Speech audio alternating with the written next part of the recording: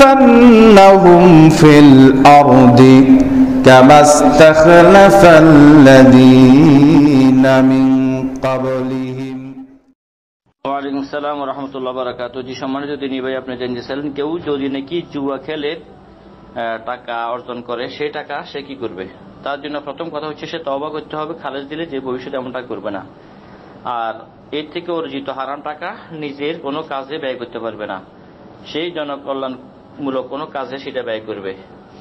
যেমন কোথাও রাস্তাঘাটে দরকার কোনো হাসপাতাল, কোথাও টয়লেট, পায়খানা এরকম দরকার। এই সমস্ত স্থানে স্থানে এটাকে ব্যয় করবে। কেউ কেউ বলতেছেন, মাদ্রাসা বানানোর কাজে বা মসজিদ বানানোর কাজেও এটা দিতে পারে। শুধু নিজের এটা ব্যবহার করা হারাম। এই বিষয়ের উপরে প্রথমে কোরআন আয়াতের আল্লাহ তাবারাকাতুল্লাহ বলেন, সূরা মায়দার 90 নম্বর আয়াত আউযু বিল্লাহি মিনাশ শাইতানির রাজিম।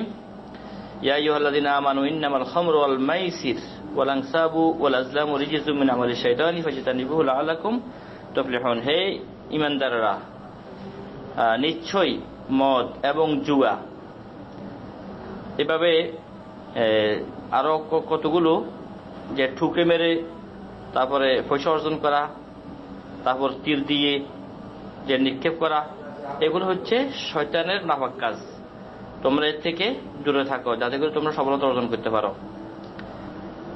তাই এই কাজগুলো হারাম, এর থেকে যেই টাকা পয়সা অর্জন করবে সেগুলো হারাম।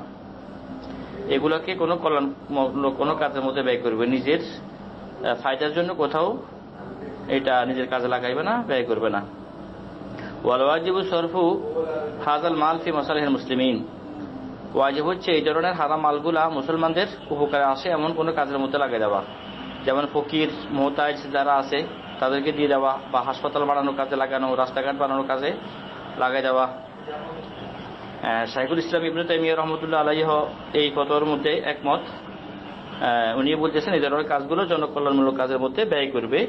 মজমুয়াল ফতোয়ার বাইশ নম্বর খণ্ডের একশত বিয়াল্লিশ নম্বর খ্রিস্টাতে উল্লেখ করা আছে।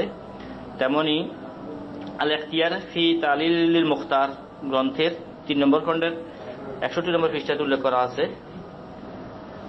উনি ওইখানে বলেন সবিলহু আত্মাসাদ্দু কবিহি এই ধরনের হারাম মাল, এগুলো সৎকা কর- তারপরে নিষ্কৃতি পাইতে হবে। তেমনি ফতোয়া আল্লাহ জিনাতুদ্দা ইমার চোদ্দ নম্বর খণ্ডের বত্রিশ নম্বর পৃষ্ঠাতে উল্লেখ করা আছে, ইজা কানা হেইনা কাসাবাল হারাম আয়ালা মোতাহারি মাহু যে ব্যক্তি যেই মালটা অর্জন করতেছে, সে জানে এটা হচ্ছে হারাম, যেমন জুয়া ইত্যাদি। সুদ ইত্যাদি, ফাইনাহু লা ইয়াহিলু লাহু বিহিত তাওবাতু। লা ইয়াইলু লাহু বিতাওবাতি অর্থাৎ, শুধু তবা করলে এই মালটা হারাম মালটা তার জন্য হালাল হবে না। বাল ইয়াজিবু আলাইহি তাখাল্লুসু মিনহু বিইনফাকিহি ফি উজুহিল বিররি ওয়া আমালিল খাইর।